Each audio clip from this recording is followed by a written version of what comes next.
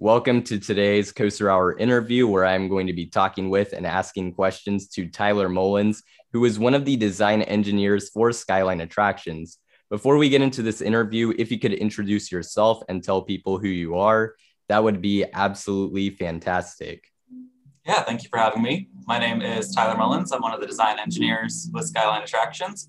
I've been with Skyline for about four years now, where I've had the chance to work on some of the recent projects, including our partnership with Great Coasters, as well as our new lineup of children's roller coasters, P'Sghetti Bowl, which I'm excited to talk about today. That's awesome. And so, with our first set of questions, I'm going to be going into questions to kind of let us get to know you and Skyline better. My first question, pretty simple What is Skyline Attractions and what products do you make? Yeah, Skyline Attractions is an Orlando, Florida based amusement ride design and manufacturing firm. We were actually founded by three of the three of the four founders were previously at Great Coasters. They wanted the opportunity to kind of innovate beyond just wood roller coasters. So some of our earlier products include children's rides like the Crazy Couch, as well as our compact steel roller coasters. We also offer a line of new children's coasters called the P'Sghetti Bowl, and we've been able to retain a wonderful relationship with Great Coasters where we still offer our design and our engineering services to them. Awesome. And it's great to see, like, because three of the four founders were from GCI, it's awesome to see that they kept that relationship, uh, but also got to do some things that they couldn't do probably at um, GCI. So uh, just great to see that. My second question I have is more specifically for you and your job within Skyline. But as a design engineer for Skyline, what are some of your responsibilities? I think given Skyline's small but mighty size, we wear a lot of hats. So some of my responsibilities uh, recently have included some of the technical technical documentation like ride manuals, maintenance procedures, uh, quality assurance programs, assisting with some of the ride proposals for parks. This is both for Skyline and for Great Coasters, as well as drawing creation for parts and assemblies, and I've also had the chance to create and maintain the website. I run a lot of the social media as well as the monthly newsletter. Wow, you're really busy having to control the social media, all the manuals. Uh, that's a lot. And that that's, I mean, more than I was expecting for sure, but that's really cool that you handle all that. So uh, I got to give props to you for that. My third question is um, what originally got you into coasters and into the amusement industry? Yeah, I've always loved roller coasters, always loved theme parks. I had the chance to grow up down the street from Kings Island. I had season passes there all through my childhood. So I loved going there, riding the rides. And when I was old enough, I loved working there. I worked at Adventure Express as well as the Drop Tower, the Bat. My last two summers there, I worked in Planet Snoopy. Um, I loved every season I spent there, and it was a wonderful opportunity. Uh, in addition to growing down up down the street from Kings Island, I also played Roller Coaster Tycoon as a kid. I was always on roller coaster forums, and when it went when it came to college and getting a job, getting a career, I wanted to work in the theme park industry. I went to Ohio State, where I was a member of the school's theme park engineering group, which is a really great student organization focused on the theme park industry. Through the group, I was able to go on some really cool behind the scenes tours at Kings Island, at Cedar Point, attend things like IAAPA and ASTM and network, all which led to an eventual internship with Great Coasters and then a role with Skyline Attractions after I graduated. That's awesome to hear. And actually, if I could use uh, ask this as a follow up, uh, you're so yeah, you grew up going to Kings Island. So, from my understanding, you were involved with Mystic Timbers in some way. So, how was that? Yeah, it was a dream come true. Um, when I had the chance to intern at Great Coasters, it was in fall of 2016 when Great Coasters had their office in Florence, Kentucky. So I would commute the 45 minutes every day down there, and I got the chance to work on Mystic Timbers, which, as you said, was my home park. I grew up there. I love Kings Island. Working on such a great ride at such a great park was fantastic. Um, during the internship, I also had the chance to work on a couple of the company's rides in China, as well as Invader at Busch Gardens Williamsburg. So it was a really great experience because a lot of what I was doing there ultimately transferred to what I'm now doing at Skyline with our partnership with Great Coasters.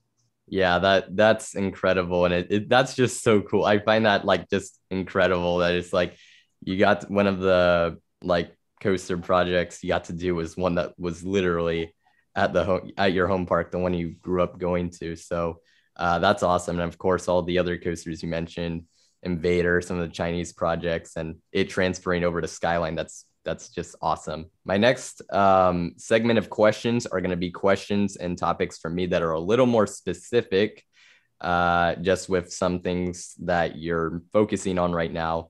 Um, but my first question relates to the recent P'Sghetti Bowl coaster you announced, and that is that how did the idea of the P'Sghetti Bowl coaster come to be, and why did you go for a weld-free single rail track design? I think when it comes to why we chose to create and introduce the P'Sghetti Bowl is we looked at the market for children's roller coasters from American manufacturers, and it is incredibly stagnant. If you are a park and you want to build a children's roller coaster from an American company, what you have available today is pretty comparable to what was available 25 years ago. There's been very little innovation. So we saw the opportunity to bring something new and creative to the industry. And I think P'Sghetti Bowl really fits that bill.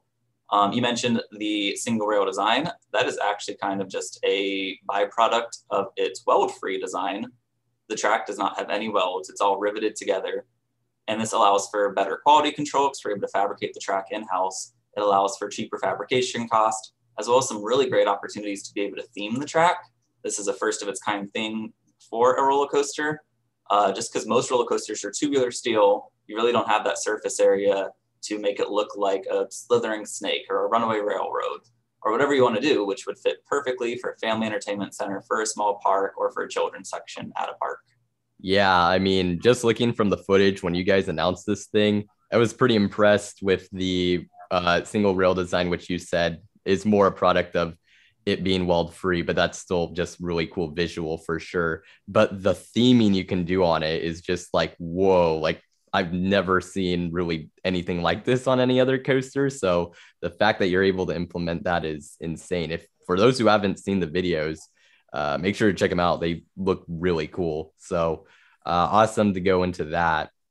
It's gonna open up. Sorry, it's gonna open up a lot of doors as well for parks. Um, just because if you have like maybe a Santa themed amusement park, they can make it look like a candy cane or like a snowy hill and I think a lot of parks that typically do not have the ability to theme their rides very with a lot of detail, this is going to give them a lot of opportunity they didn't have before. So I think we're going to see a lot of it in the coming future. Yeah, the possibilities are really endless. Like just just from the concept I've seen and everything, it it's crazy. So uh, that's awesome.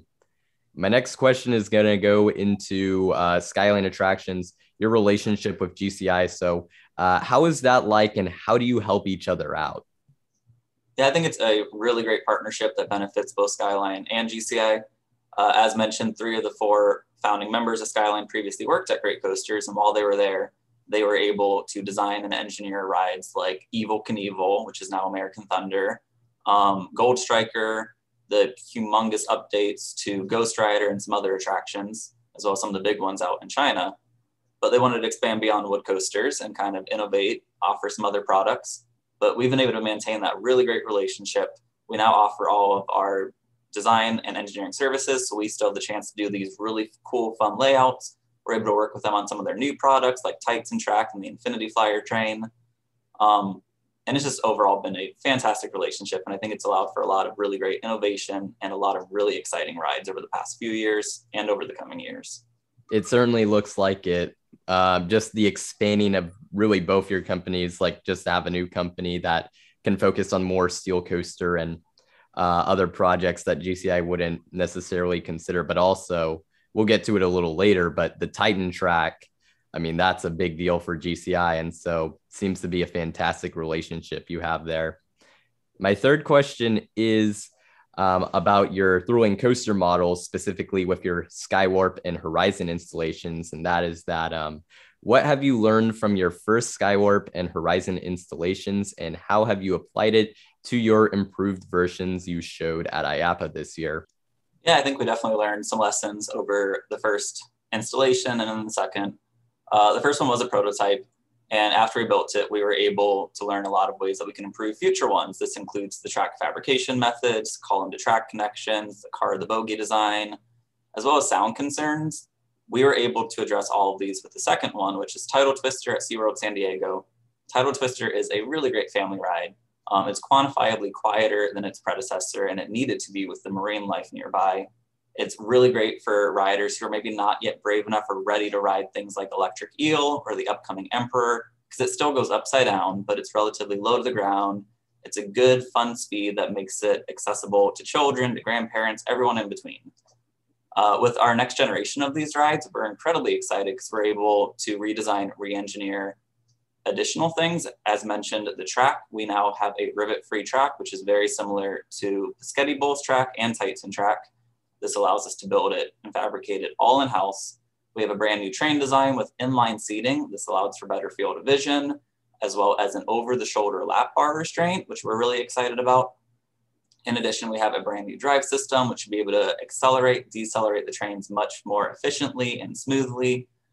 Just across the board, there's a lot of humongous improvements and um, enhancements. So I'm really excited to see Skywarp 2, Orbit 2, and Horizon 2 out there. And I think they're going to be really great family thrill rides.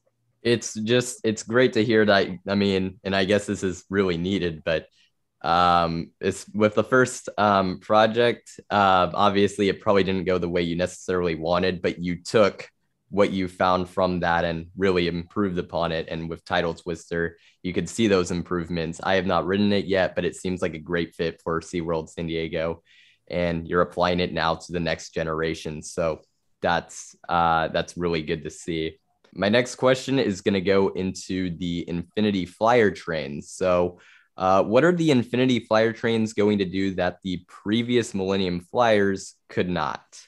The Infinity Flyers are so, so exciting. It's one of my favorite things that we've had the chance to create for Great Coasters. Uh, these trains are able to navigate tighter turns, tighter crest. That allows them to do a lot more crazy, compact elements.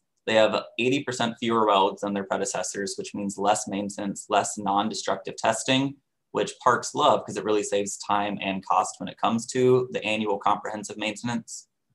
Uh, we also have improved modularity. This makes it much easier to adjust them for chain lifts, for launches, for the brake runs. And these trains are great on existing rides or brand new rides. We also have the ability with the class five restraints, we're able to go upside down, we're able to have negative airtime, we're able to do so many things that the Millennium Flyer train is not capable of, capable of doing. Um, we had the chance to test Infinity Flyers. I don't know, I don't think most people know this, but we had White Lightning down at Fun Spot America. It was closed for a few days. We were able to put an Infinity Flyer train on it while the park was still open, and we had the ride to ourselves for a couple days. I've always found it funny that no one ever noticed that happened because anybody there that day could have easily taken a picture, put it on Twitter, but it went completely under the radar but we've had the chance to work on the Infinity Flyer trains over the past few years. We're so, so excited for them to be unveiled on a roller coaster in the near future. Um, and they're really going to, they're the next generation of wood roller coaster trains. There's so much potential with them. That's fantastic to hear about. It probably a lucky stretch at Fun Spot in terms of coaster enthusiasts not being there uh, for those few days.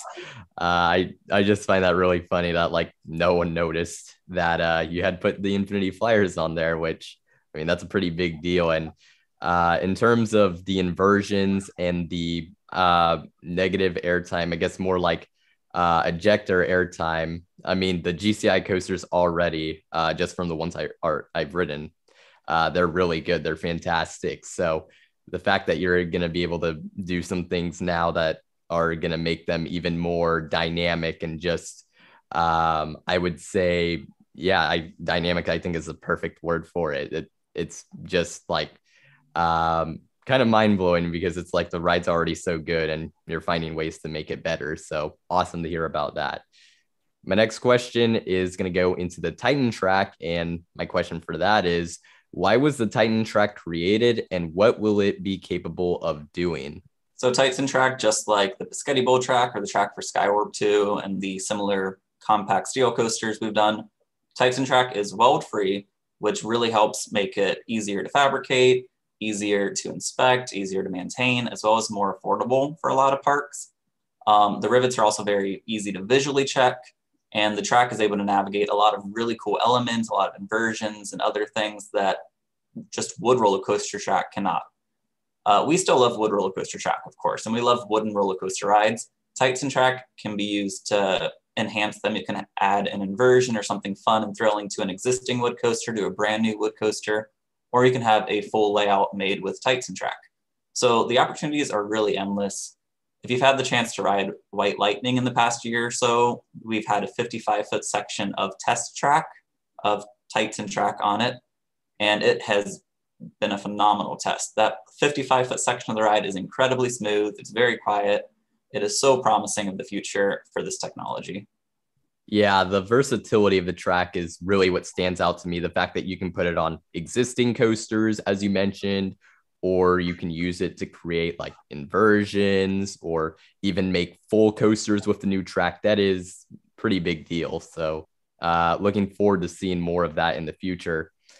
And then my last question I have, and this is about IAAPA, happened about probably by the time this comes out, probably about two months ago. So my question with that is, uh, how was the interest and response level from IAAPA like this year from potential customers? IAAPA was phenomenal. Um, first off, it's so great to have the event back after it was not held in 2020. We had a tremendous amount of interest in the P'Sghetti Bowl Children's Coaster and Skywarp 2 and the other compact steel roller coasters, as well as our design and engineering services. Um, it's a really, really bright future for both the theme park industry and for Skyline. And we're really excited to uh, move forward with a lot of these exciting projects. Great to hear. And it's awesome also to hear that the P'Sghetti Bowl Coaster got a lot of interest. It really seems like a model with a lot of potential, especially as you said earlier, because kiddie coasters that are US made, not really a whole lot of innovation in the last 20 or so years. So, uh, really, really awesome that that's getting a lot of interest. And so, I mean, that's that's great to hear from you that that went well. My next segment of questions are going to be the the final segment of questions. This is questions from the viewers. So, for those of you watching, I actually post um, before I do an interview who I'm going to be interviewing with and give you an opportunity to ask questions either through Instagram, YouTube community post, or Discord. So if you don't follow those yet, make sure to. Um, but my first question I have is one that is actually from uh, multiple people. And that is Do you have any tips or recommendations for becoming a coaster designer? This is one of my favorite questions because I was an engineering student not too long ago and I was trying to get into the theme park industry for a career. So I love being able to answer it and hopefully help out future roller coaster engineers and designers. Um, I actually have a small list of tips and advice I usually like I like to give.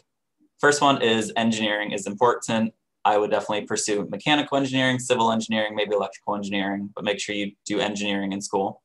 If you're able to join a group like the theme park engineering group at Ohio State, there's been an explosion of these student organizations across all these colleges.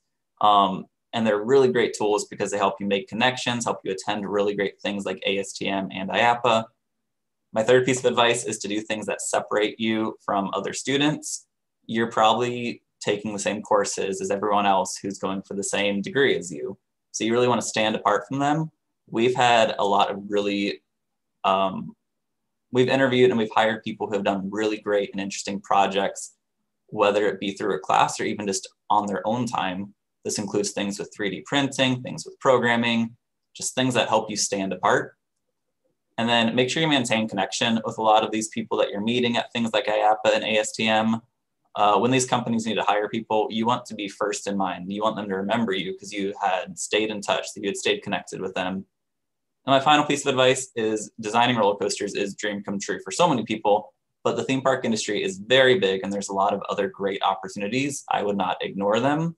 For example, everyone knows the big roller coaster manufacturers, but there's also the companies that do theme park master planning like AOA or JRA.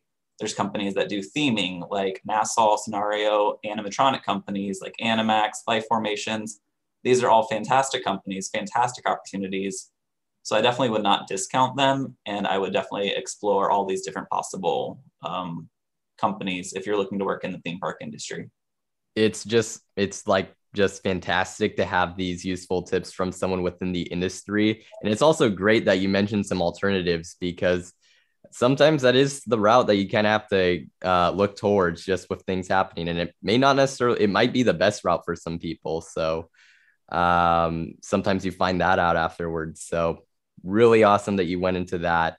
Uh, and I really appreciate the in depth answer there. My second thing I have is a question from Imperial Coasters, and he was asking Do you have a favorite GCI project you have been a part of? I have two. Um, one of them is Mystic Timbers because, as noted, I grew up near Kings Island. Being able to work on a ride at my home park was dream come true. Really, really fun, and the ride's phenomenal. Um, it's such a great, fun family thrill coaster. Anytime I get up to Kings Island now, since I now live down in Florida, I always make sure I ride Mystic Timbers. My other one, I wish I could say more, but it's not publicly announced yet. But I will say there's one other one, and I loved it because I had the chance to work on a lot of things I haven't really done before on a coaster. Um, so being able to take ownership over parts of it is exciting, and it's going to be a phenomenal coaster. And I cannot wait for more information to be revealed about it. Definitely something to look forward to. Uh, hopefully, we'll find out in the near future, relatively soon, what that project is. It sounds exciting. Um, but yeah, Mystic Timbers, obviously, that one also has to be up there because, as we mentioned, your home park. So uh, obviously, that's got to be a favorite. My third question is from Western New York Coasters. Uh, and he was wondering, will we be seeing the Titan track utilized on more coasters uh, relatively soon? I think the very short answer is yes. I don't think I can go into too many specifics, but as noted, it's great for not only ground up rides, but also ride refurbishments, ride enhancements, just because there's so many opportunities with it. So it's a very bright future for the product. Yeah. I mean, not too surprised you can't go too much into it, but uh, certainly will be exciting to see it get utilized uh, in the near future. So I'm excited to see it. Our next question is from Coaster Shardark, and he was asking, what can you tell us about Bombay Express and its layout specifically? This is the GCI coaster in Dubai for those who don't know. Yeah, Bollywood Parks Dubai is opening a new wooden roller coaster in the near future. They've been selective on what they've chosen to share, so we also, out of respect, are a little selective on what we're sharing. But it's a really cool record-breaking ride. Um, has they have said has more airtime moments than any other coaster on the planet, which is just wild. It's also a really cool ride just because of how it is built and how you interact with the structure. Uh, I'm really excited for Bollywood Parks Dubai to share more information, hopefully in the near future about it. And I'm excited for it to open up as well. Yeah, it's certainly, in terms of wooden coaster projects, it's certainly one of the more intriguing but mysterious ones uh, I've I've looked at in a long time. So um, I I can't wait to learn more about it once we can. And then our last question comes from Civilian Satellite. Uh, and they were wondering what issues did the pandemic present for developing upcoming rides such as Bombay Express, Roaring Timbers, and potentially some other ones that uh, may be coming down the line? I think the pandemic definitely turned the amusement industry on its head. Um, it delayed a lot of plans across the industry, a lot of companies. I know a lot of parks are holding their breath before pulling the trigger on their next big project now. So we're very grateful that we had rides like the one at Bollywood Parks Dubai, as well as Roaring Timbers at Tom Island in Vietnam. Those were already in the process of being built. They had already been designed and engineered. Um, I think the pandemic also showcased the necessity of some low cost rides, both in terms of children's roller coasters as well as our compact steel coasters. And I think that we've actually seen an uptick in interest because of it. Um, and as you mentioned, the Tom Island, the one in Vietnam, I think that one's funny because not only is the one in Dubai a mysterious coaster, but the one in Vietnam was fully built before anyone even knew it was there, which for months and months, I was checking all these Vietnamese news websites and just waiting for someone to finally notice this roller coaster was being built. Never happened. It wasn't even publicly showcased or acknowledged until it was fully built, which I don't think we're ever going to see that again in the amusement industry. I think that was just the perfect combination of, you know, the park wasn't open with COVID and it was an on, on an island in Vietnam. I just think it's a very funny situation though, but I'm excited for that one. Yeah, I mean that coaster, the setting that Roaring Timbers is going to have, it looks really special. It's literally like pretty much in the jungle. I mean, that is uh it looks beautiful. Um and then in terms of the pandemic, um like it, it's I guess like yeah, having like the low cost rides uh, or the lower cost rides uh, certainly they have their purpose, and it's great to see that parks are willing to still get new rides, um, but get these ones that that like pretty much works out perfectly for you guys. So that's uh, that's really good.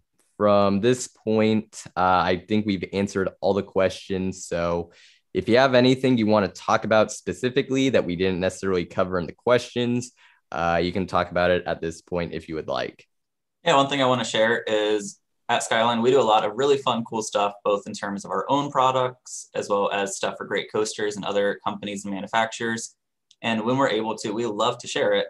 And we actually have a monthly newsletter so whether you are a member of the media, an engineering student, a coaster enthusiast, regardless, you are more than welcome to subscribe to the newsletter, stay in the know on some of these exciting projects, including some really, really exciting ones that are upcoming. And I cannot wait to share more information about both in terms of great coasters as well as other exciting rides.